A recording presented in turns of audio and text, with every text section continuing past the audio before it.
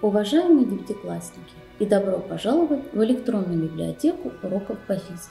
Сегодня урок физики проведу я, учитель первой категории Вангелий Виктория Викторовна. Мы продолжаем изучение модуля номер два, который называется «Гравитационное поле». Тема сегодняшнего урока – гравитационное поле, силовые линии гравитационного поля, напряженность гравитационного поля.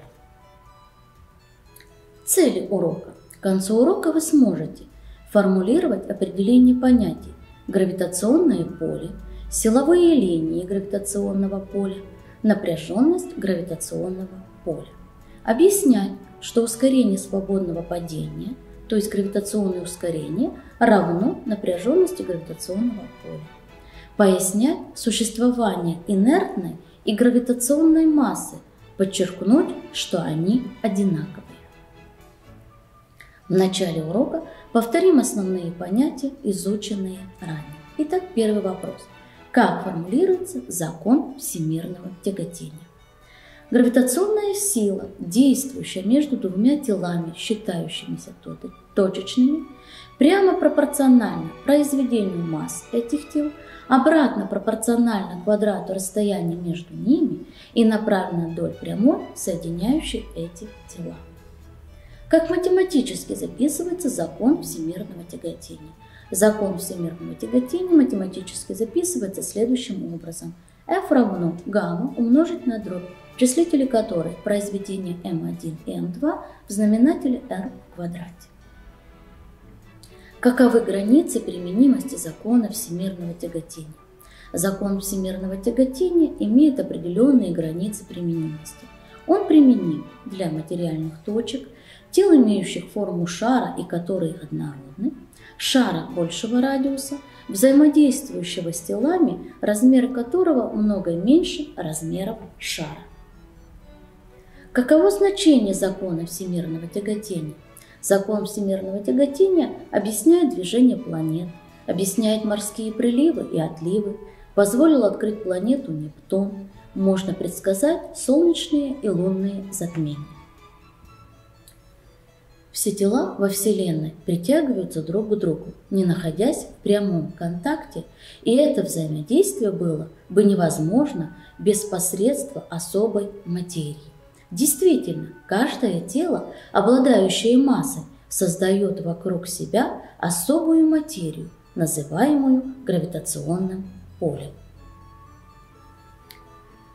Итак, я предлагаю вам ознакомиться с планом характеристики поля. Первый пункт плана – название поля. Второй – определение. Третий – источник. Четвертый – свойства. Пятый – графическое изображение. И шестой пункт плана – величины, характеризующие данный вид поля. Итак, определение гравитационного поля. Форма материи, существующая вокруг всех тел в природе, посредством которой происходит их гравитационное притяжение, называется гравитационным полем. Источником гравитационного поля является любое тело. Обратите внимание на рисунок. Здесь показаны различные тела, и все они являются источниками гравитационного поля. Каковы же свойства гравитационного поля? Одним из уникальных свойств гравитационного поля является его всепроникновение, то есть способность проникать сквозь любые вещества. Гравитационное поле, создающее вокруг тел, неоднородно. Оно сильнее вблизи тела и уменьшается по мере отдаления от него. Как же графически изображается гравитационное поле? Графически гравитационное поле изображается в виде силовых линий, которые направлены к телу. Каковы же величины характеризуют гравитационное поле? Величина, которая характеризует данный вид поля, называется напряженностью гравитационного поля. То есть для характеристики гравитационного поля и его действия вводится физическая величина напряженность гравитационного поля. Об интенсивности гравитационного поля очевидно можно судить по величине силы, действующей в данной точке на тело с массой равной единице. В соответствии с этим величину называют напряженностью гравитационного поля. Далее рассмотрим план характеристики физической величины, согласно которой мы сегодня охарактеризуем напряженность гравитационного поля. Итак, план состоит из следующих пунктов. Первый пункт – название физической величины. Второй – определение физической величины. Третий – обозначение. Четвертый – формула для расчета. Пятый – объяснение формулы. Шестой – единица измерения физической величины в системе Си. Следующий пункт плана – величина векторная или скалярная. Следующий пункт плана, если величина векторная, указать ее направление. И последний пункт плана – это прибор для измерения. Итак, определение напряженности гравитационного поля.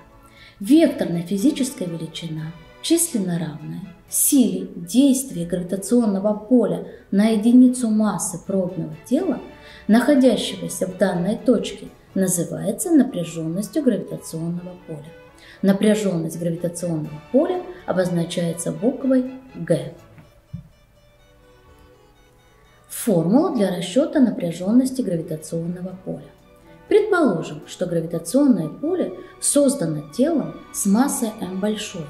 Если в этом поле на некотором расстоянии r малое от центра находится пробное тело массы m малое, то сила притяжения между этими телами равна F равно гамма умножить на дробь, числителе которой произведение m большое на m малое в знаменателе r в квадрате.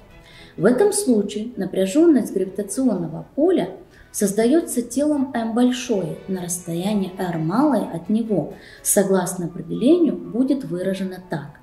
g равно f деленное на m или g равно гамма умножить на дробь, в которой m большое в знаменателе r в квадрате.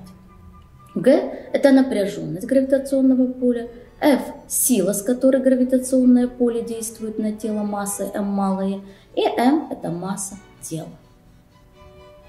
Единица измерения напряженности гравитационного поля в системе Си является 1 ньютон делить на килограмм. Как графически изображается напряженность гравитационного поля? То есть напряженность гравитационного поля – это величина векторная, следовательно, характеризуется направлением. Напряженность гравитационного поля направлена вдоль силовых линий гравитационного поля, то есть к телу. Линии, касательные которых в любой точке поля указывают направление силы, тяготение, действующее на тело, помещенные в эту точку, называются силовыми линиями гравитационного поля. Силовые линии указывают направление силы. Густота силовых линий увеличивается с увеличением напряженности поля. Прибора для измерения напряженности гравитационного поля нет. Из курса физики 7 класса вы знаете о силе тяжести – Сила притяжения тела к Земле называется силой тяжести и обозначается буквой Г. Сила тяжести вычисляется по формуле Г равно m умножить на g, где m – это масса тела, g – это ускорение свободного падения, неизменная для определенного места на Земле физическая величина. Для нашей географической зоны g равно 9,8 ньютон делить на килограмм. Согласно закону всемирного тяготения, сила, действующая между Землей массой m большое и телом массой m малое, находящимся на ее поверхности r радиус Земли, вычисляется по формуле F равно гамма умножить на дробь, в числителе которой произведение массы Земли на массы тела, а в знаменателе радиус Земли в квадрате. Фактически, эта сила является силой тяжести – которая действует со стороны Земли на тело массой m. Она направлена вертикально вниз центру Земли. Как следствие получаем, что g равно f. Значит, правые стороны выражения 1 и 2 равны, то есть mg равно гамма умножить на дробь, в числителе которой произведение m большое на m малое, то есть масса тела, деленное на r большое в квадрате. Или g равно гамма умножить на дробь, числителя которой m большое – это масса Земли, а в знаменателе r большое в квадрате – это радиус Земли. Сравнив выражение 5 и 3, представляющим напряженность гравитационного поля, можно сделать вывод. Гравитационное ускорение g выражает напряженность гравитационного поля на поверхности Земли, то есть g равно g. Из формулы 5 видно, что напряженность любого гравитационного поля зависит от массы тела его создающей, в данном случае от массы Земли, и уменьшается одновременно с увеличением квадрата расстояния от центра этого тела, то есть зависит от точки, в которой исследуется поле. В случае, когда тело находится не на поверхности Земли, а на высоте h над нею, напряженность гравитационного поля выражается формулой G равно гамма умножить на дробь, в числителе которой масса Земли, а в знаменателе радиус Земли плюс h, то есть высота, над которой находится тело относительно поверхности Земли в квадрате. Из этой формулы следует, что вместе с увеличением высоты h напряженность гравитационного поля уменьшается.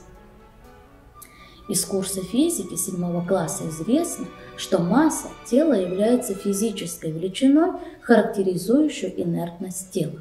Инертностью тела называется его свойство сопротивляться изменению скорости.